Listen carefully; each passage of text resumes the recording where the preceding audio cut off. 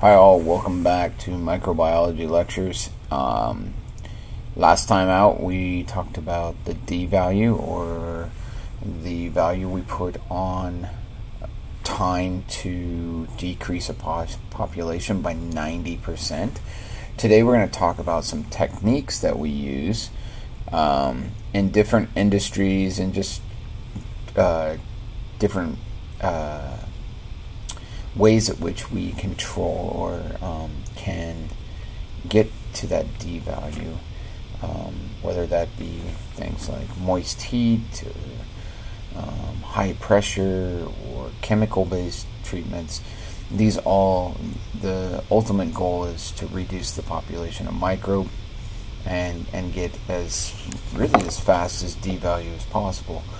So let's dive into some of these techniques. Some are very old and still utilized constantly. Others are kind of new emerging techniques that may not be used um, that much due to high costs and, and whatnot. So moist heat, that is a, a definite old um, technique.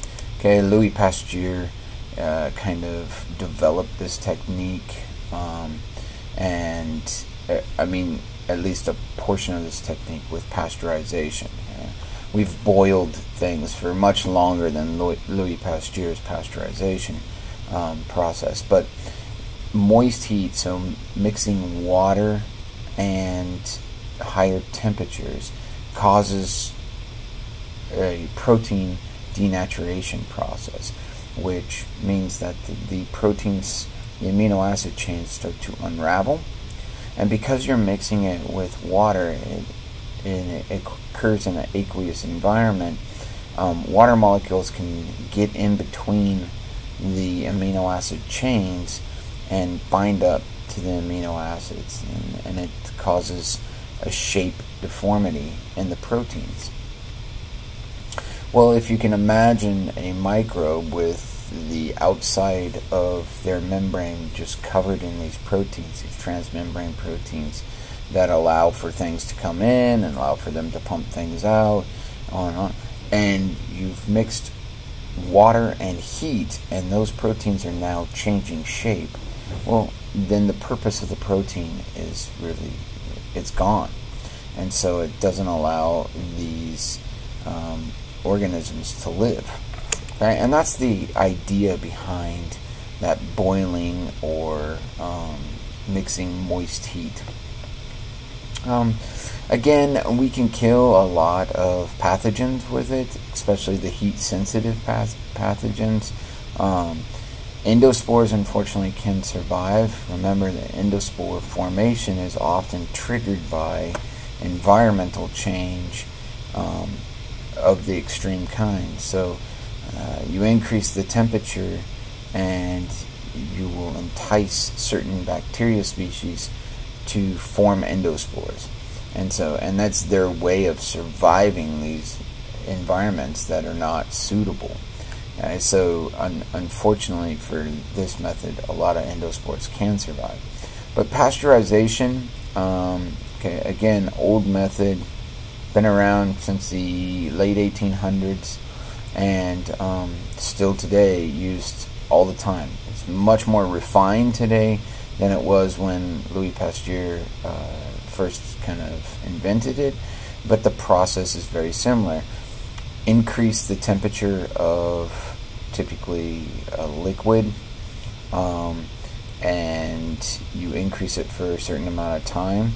Right? In this case, milk in the United States is about 72 degrees Celsius for 15 seconds.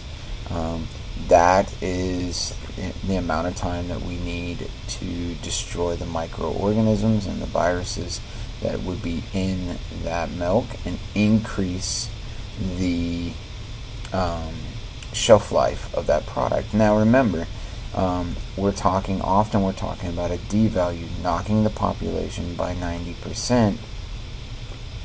It doesn't mean that these products are sterile. Okay? They still will have pathogens or potential pathogens in them. That's why milk and ice cream and, and other products have shelf lives, is because over a period of time that those organisms that would spoil that product do come back. They do increase, but the initial process allows for us to um, have a product last a little bit longer. Okay? And then, of course, there's other ways at which we can go about um, this process. We can do what's called ultra pasteurization, where now instead of you know pasteurizing for um, a few seconds um, at cooler temperatures, now you're increasing the temperature quite a bit, which can denature the proteins in the material that you're interested in. But normally it makes it stable, um, shelf stable, so they don't have to be refrigerated any longer. So, um, you know, boxed juices, or sometimes you'll see like boxed milk that um, you know, chocolate milk and things like that um, that can go on the shelf and they don't have to be refrigerated. That's ultra pasteurization. It means a much higher temperature. Again, probably for a few seconds. Depends on the product. Depends on how much you're doing.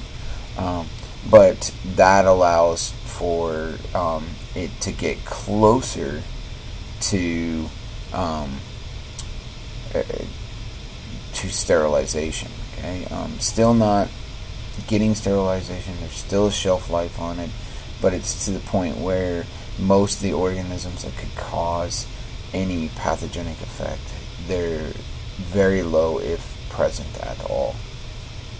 And this is just kind of a diagram of of the way in which we pasteurize milk products. Um, you know, very different than Louis Pasteur did on his benchtop, but again, um, you know, you, will have raw milk products come in, um, and then heated, and then you know they're heated to a specific temperature. Again, like I have specific temperatures here. These are for the United States, 72 degrees Celsius for milk and 82 for ice cream. Um, other countries pasteurize at other temperatures, not um, necessarily the same as us. Um, so they'd have different machines, different controls. They have different shelf lives of their products. Um, but you know, the United States kind of, you know, these are what we use. Um, so again, it's similar process. You heat it, you cool it.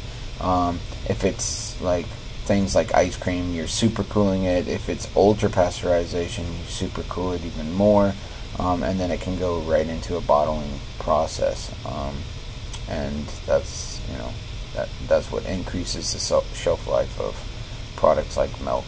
Okay, we'll talk about a different type of pasteurization later.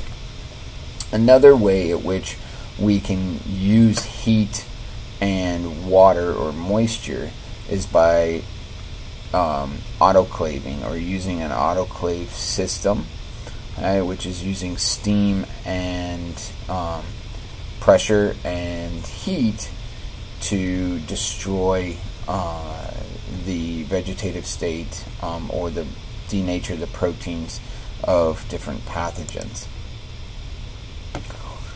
In this process, unlike pasteurization, the goal really is to sterilize. Um, and so the temperatures are to a point where um, sterilization happens. It can kill the endospores or destroy the endospores. Um, and depending on the material that is being autoclaved, whether it's a liquid or solids, um, so we autoclave lots of medical tools, we autoclave um, lots of liquids that need to be sterile, um, especially in micro labs, you know, we're autoclaving agars and things like that, water, um, just to make sure that there's no microbes in there um, when we initially start the studies. You know, um, that's kind of sweet spot for most things is about 121 degrees Celsius. Um, that's the point at where most vegetative viral um, entities will denature. Most, the majority of proteins, um, at least that have been discovered and tested, will denature at uh, you know temperatures up to about 121.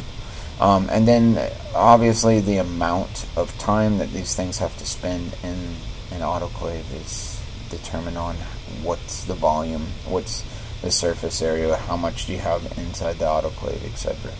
Um, there are flash sterilization processes where you're not talking about minutes or um, even hours of sterilization, but you're talking about, you know, a matter of seconds or a couple minutes, much shorter period of time. It really depends on what is being sterilized. But the goal, um, again, is sterilization, not getting a 90% reduction, not getting a D value, you know, but getting complete sterilization. And remember when we talked about this a little bit before. Complete sterilization means that you have one in a millionth chance of swabbing that piece of equipment or that liquid or whatever and getting a microbe. Okay, that's what we consider sterile. So it means that there's no life. Um, recent studies, kind of recent avenues with um, studying things like chronic wasting disease and other diseases that might be prion derivatives, um, have noticed that just autoclaving that material, uh, if it's a prion related material, is not enough. Um, so we need to use uh, sodium hydroxide or some other extreme base or extreme acid to um, start the process of breaking down proteins. Um, if it's like uh, prion protein layers, um, if it's something else, you know, that might not autoclave very well. Maybe it's lipid base, maybe it's a biofilm base or something like that. You, you might need it to break down some of those uh, material before you do the autoclaving process. Okay? And so again, a lot of this is, you know, live and learn. Um, and you know, the the more equipment, the better our equipment gets, the better ability we have to actually getting to sterilization. Um, and you know, we talked at the very beginning of this how you know just washing your hands was a huge process and a huge advantage in the late 1850s. Well, in you know the 2000s, machines like autoclaves and whatnot have, have really allowed us to make sure that our instruments or our liquids or whatever are as sterile as possible um, prior to use. Okay, well, another entity, another industry that um, really likes to get to that as close to sterilization process as possible is the food in- industry because it's really important from a perspective of if you're going to go and take a can of food off a shelf, um, that that can of food is not does not have botulism, does not have the presence of endospores um, that could cause botulism inside of it, growing while it's sitting on the shelf. Um, that that can is as sterile as possible um, from pathogenic uh, bacteria or viruses that could be in um, in those situations. Um, it can take a long time for uh, these processes to occur, and so um, often, you know, looking for extreme reduction of endospores to the point where you know not having endo in any endospores is, is the ultimate goal Sometimes uh, other things are added to the canned food if they're if it's really hard or you can't have a very long process because it changes the texture or it changes the flavor of whatever is being canned.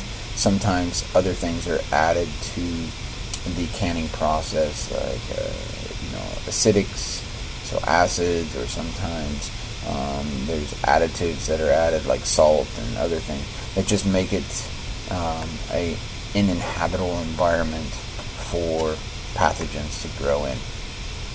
But that being said, you know the commercial food industry is also realizing that there will be the presence of some um, microbes that occur in the product that they're providing. The ultimate goal, though, is to make sure that the microbes that are in that product are not microbes that um, can grow while while the product is sitting on a shelf at so at room temperature. So they you know they're trying to maintain something that you know if if you have very if you have microbes that need extreme temperatures to grow, okay, well they can stay, um, especially given the process of autoclaving or using a retort um, would increase temperatures, and so those those organisms might be able to stay because outside of the autoclaving process, probably not getting temperatures to that point. So uh, this is kind of what they look like. I mean, the previous slide you saw an autoclaver. Um, uh, this is basically just a giant autoclave. Okay? Um, canned foods will go in, and and the autoclave process can take a long time, but um, that's what allows this process is really what allows the shelf life of say like a can of green beans um, for you to you know go years without having the chance of forming um, like a botulism or a bacteria inside that can. Dry heat, okay, most in microbiology labs, you, you guys are very familiar with a dry heat, so using um, incinerators or using Bunsen burners or um, um, you know other ways at which you can sterilize or you can flame um, certain tools for the process of removing uh, bacteria.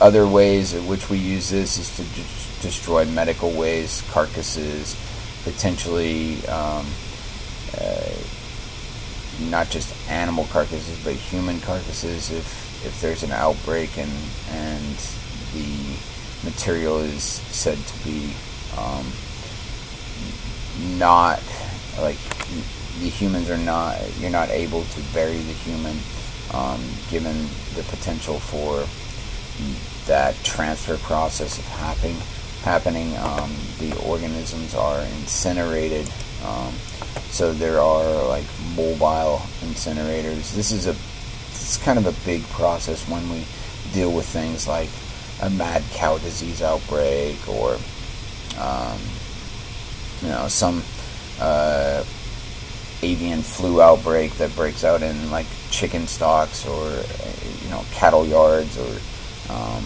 uh, like swine facilities and things like that where you have to have a massive cull off and you must, and you must kill a huge population.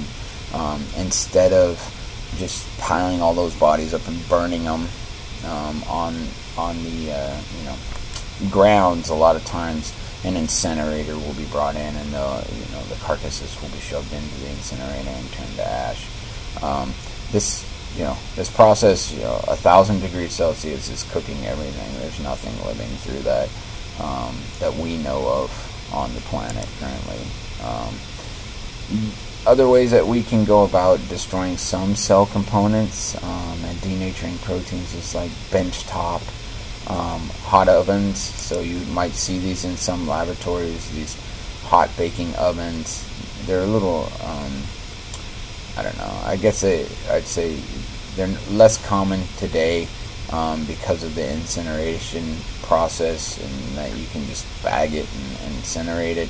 But one of the methods that used to be present is um, you could incinerate or cook the microbes inside of you know benchtop hot air ovens um, as long as the temperature got above 175 degrees Celsius uh, you're probably pretty good and so uh, again these are just tools of the trade um, ways at which we can get to sterilization.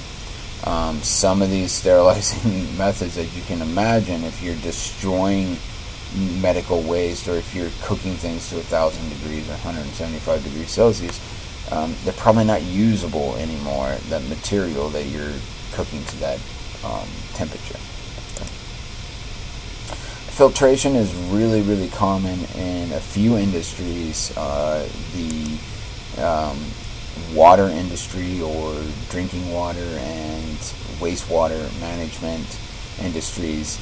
Uh, I mean, filtration is like it's it's the end all be all kind of thing. Uh, um, and the first process to processing water is to filter it. And there's lots of ways at which material is filtered. Um, majority of the time, we're shooting for the smallest filter to be right around 0.2 micrometers or 0.2 microns um, because that's going to remove all all the known bacteria um, are bigger than 0.2 micrometers. Uh, viruses, however, are you know there are many viruses and virions and prions that are much smaller than 0.2 micrometers, but normally our membranes or membrane filters are, are for that purpose, is to rem the removal of bacteria. Um, so again, uh, wastewater treatment plants or drinking water treatment plants will often have um, vertical or horizontal filters that work um, in different patterns. Water is ran through these systems, okay, and you know a system of filters are inside, um, typically inside these tubes and so it might look like something like this where your first filter is going to filter out sediment um, and then you might have a sand filter after that which would get things that are smaller that made it through the sediment filter. And these often the sand filter and sediment filter that's going to filter out the majority of your eukaryotic um, species. So your you know protozoans like Giardia and uh, Cryptosporidium potentially.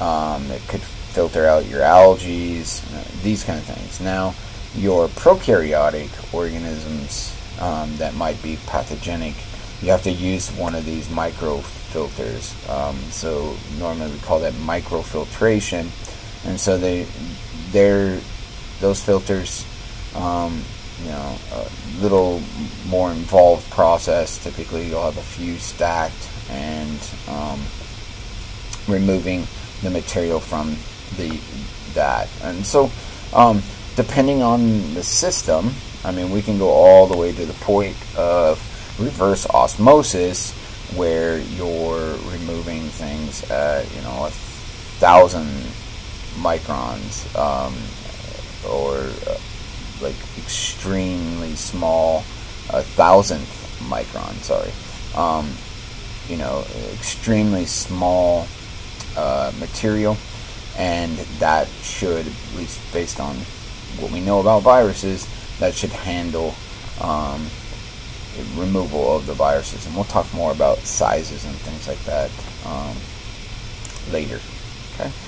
Another way that filtration can occur is filtration of air. Many of you are very familiar after the, the most recent COVID outbreak um, with N95s or sometimes called KN95s, depends on the manufacturer, but same same thing. Um, provide protection up to or down to 0.3 micrometers um, and larger, so that should remove majority of the bacteria associated with it. Um, HEPA filters, same kind of thing, about 0.3. Um, and so the, the filters that you typically see in facilities like hospitals and biological laboratories and things like that that might be considered HEPA or highly efficient particulate air filters. Um, you know, they're they're removing just like the water filter. They kind of work on the same premise. You have this pre-filter which which removes a lot of the larger stuff. The stuff that makes through that would go to another filter and that removes the smaller stuff and then the stuff that makes it through that might go to another filter um, which hopefully removes all the remaining chances um, of pathogens making it through the filter, especially in uh, like a hospital situation or a laboratory situation. Um, uh, uh, so most of the time when we're talking about bacteria, we're talking about 1 to 10 micrometers in size. Um, so HEPA filters, N95s, they work really well for bacteria. Viruses, on the other hand, it depends on the type of virus. Um, you know, for some larger viruses, these filters work well, um, but for some of these smaller viruses, uh, they can flow through these filters. So you need another way um, to control for that those viruses. Okay. Next time we come back, we'll talk about um, kind of novel um, methods or methods that are not as familiar to many people.